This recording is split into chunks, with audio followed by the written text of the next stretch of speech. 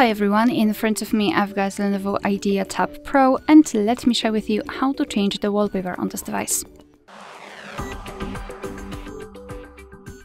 So let's start with opening the settings and here in this left section we have to scroll and find personal customization give all the permissions it needs and as you can see here we've got the preview of the lock screen and the home screen and under it we've got the list uh, of the albums and um, and pre-installed wallpapers from which we can choose. Uh, so all you have to do is to find Mm, the wallpaper which you'd like to apply. Let me choose maybe this one. So simply tap on it, it will immediately appear on the full screen. So now you can uh, you can tap on set as wallpaper and choose where you want to set it. So as a screen, as a, desktop wallpaper or both. And I will choose both options. So let me tap on it.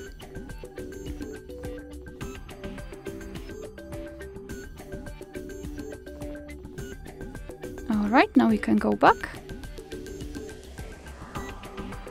and as you can see the wallpaper has been applied successfully. Alright, so that will be all, thank you so much for watching, please hit the subscribe button and leave the thumbs up.